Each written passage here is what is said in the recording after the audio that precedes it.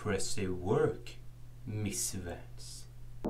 Gordon Freeman? Gordon Freeman. Miss Vance, you wouldn't need all that to imprison Gordon Freeman. So, who are you? Perhaps is of what I am is not as important as what I can offer you in exchange for coming all this way.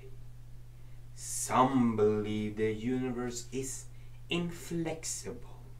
My employers disagree. They authorize me to nudge certain things, hmm, a particular direction from time to time. What would you want nudge, Miss Vance? The Combine off Earth. I want the Combine off Earth. Ah, that would be a considerably large nudge. Considerably large nudge. Too large given the interest of my employees. Well, you asked. What if I could offer something you don't know you want?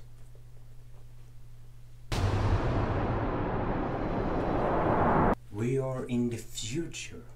This is the moment where you where you watch your father die. Unless What? Unless what? to take matters into your own hands. Release your father, Miss Vance. Good.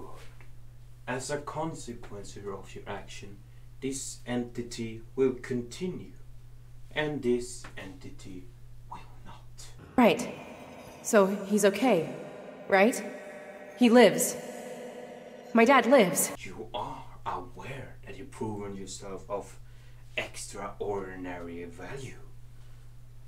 A previous hire has been unable or unwilling to com- to perform the task laid before him.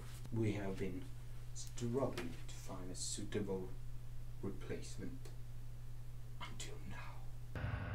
No! I, I, I just want to go home. Send me home! I'm afraid you misunderstand the situation, Miss Vance. Wait! Hey, wait! Wait! Wait!